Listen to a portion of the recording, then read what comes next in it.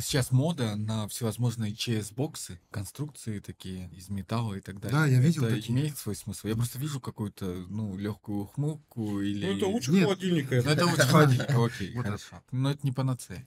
Нет.